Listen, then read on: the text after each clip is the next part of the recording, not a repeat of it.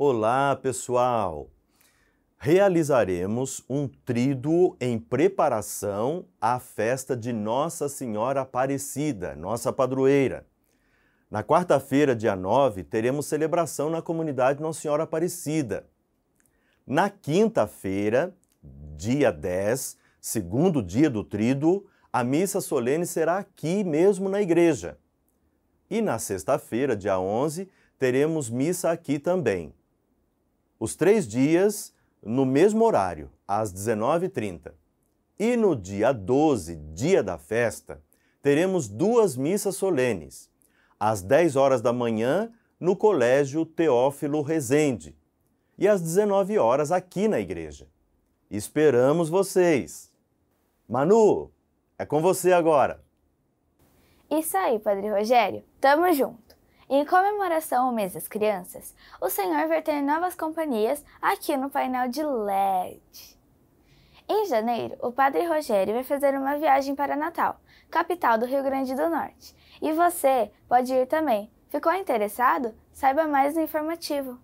Na terça-feira, dia 8 de outubro, teremos missa de encerramento da Semana em Defesa da Vida, às 19h30 aqui na igreja. Convidamos vocês e toda a Diocese para esta celebração solene que marca o dia do nascituro. Sua participação será sinal do seu compromisso em defesa da vida. Falando em bebês, a obra social está com inscrições abertas para o curso de gestantes. Você, mamãe, pode participar e receber informações importantes sobre gestação, o parto e os cuidados com o recém-nascido. Muito legal, né? Nossa comunidade promove no próximo mês o encontro de casais da Paróquia Espírito Santo. As inscrições já estão abertas.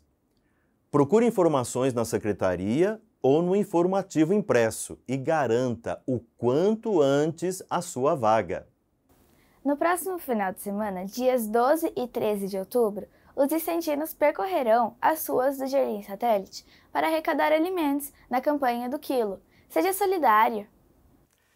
Desejo que a sua semana seja recheada das bênçãos de Deus e quero dar uma dica para que você viva melhor esses dias. Abrace mais. Capriche no abraço. Abraço cura. Pai, Filho e Espírito Santo. Dá um abraço, Manu.